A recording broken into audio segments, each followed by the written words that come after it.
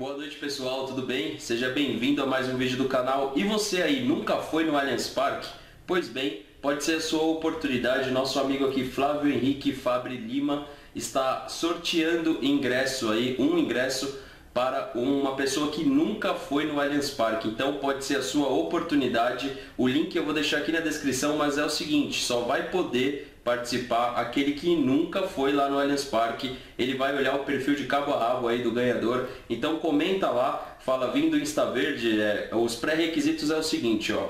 Nunca foi no Allianz? Sua chance pode ser amanhã. Vou sortear um ingresso para o jogo da Copa do Brasil.